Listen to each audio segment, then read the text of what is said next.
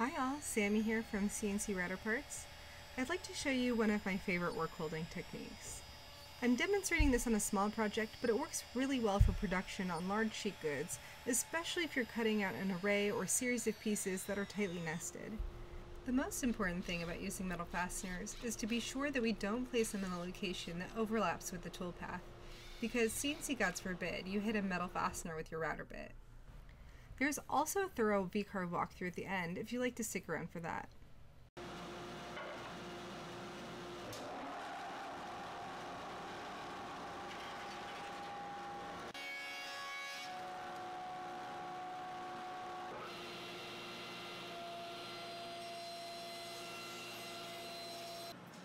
After turning the machine and referencing all homes in Mach to ensure that the gantries are aligned, I'd like to ensure that my material is also square to the gantry. To do this, I'll engrave a square pocket with dog bone fillets, roughly the size of the material. We can place the material in the pocket and snug it up to the front left corner, knowing that the pocket is square to the machine.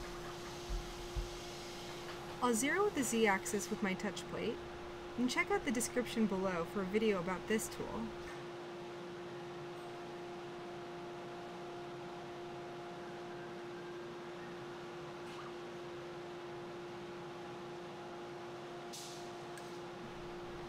Then I'll drive the spindle over to the corner of the wasteboard and manually zero X and Y in Mach.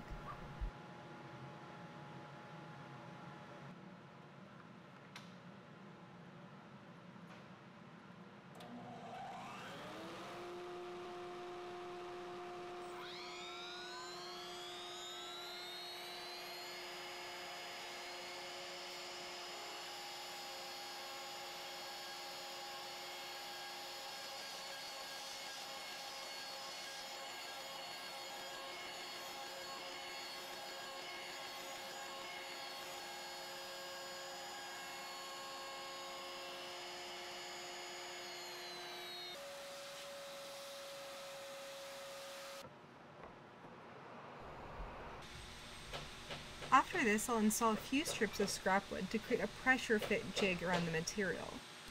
In most cases, this would be enough to hold the material and run the program, but we'll have it hold the material in place while we run our pilot holes.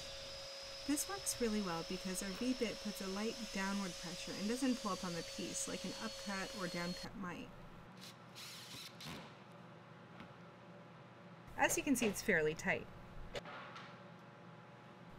Also notice that I added dog bone fillets to the pocket to ensure that the corner was cleared out for the material to fit and not be limited by the radius of the router bit. Now that our material is temporarily secured, we can run our drilling toolpath with our 90 degree V-bit.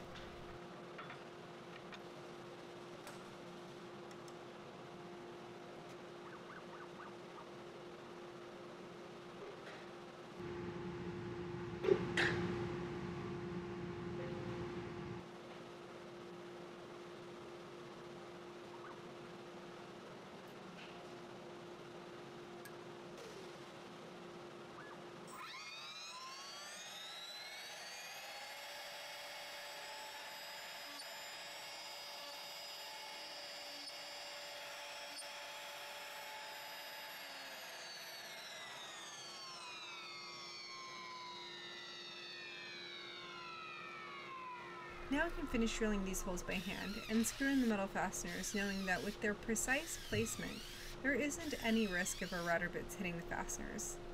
And then we can run the rest of our program. Thanks everyone for watching this pro tip video. Check out our channel for more CNC work holding solutions, tools, and accessories such as the AutoZ and corner finding touch plate. Keep it up and keep making. I'll see you in the shop. This is our V-carve walkthrough. I'm working on making a clapper board for my filmmaking setup. Let's go through my hold down technique for the main walnut board the body of the clapper board is cut from. I want to be sure that the screws will not be in the way of the exterior profile of the toolpath.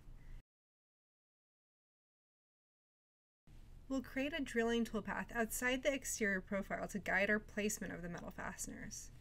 I'll create a new layer for hold down pilots. This will make it easier to select them later on. We can draw a few circles around the border of the drop material. I like to leave my exterior profile visible with a solid view on for reference.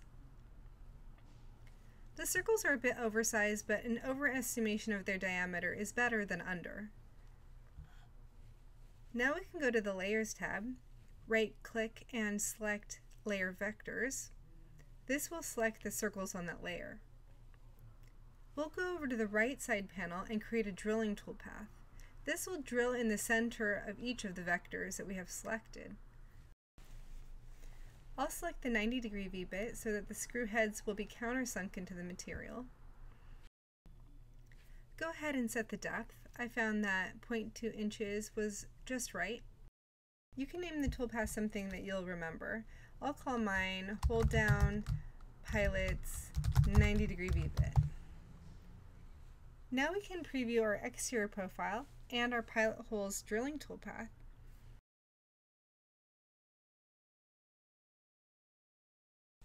Looks good to me. As always, thanks for watching. We look forward to sharing more tips and processes with you soon.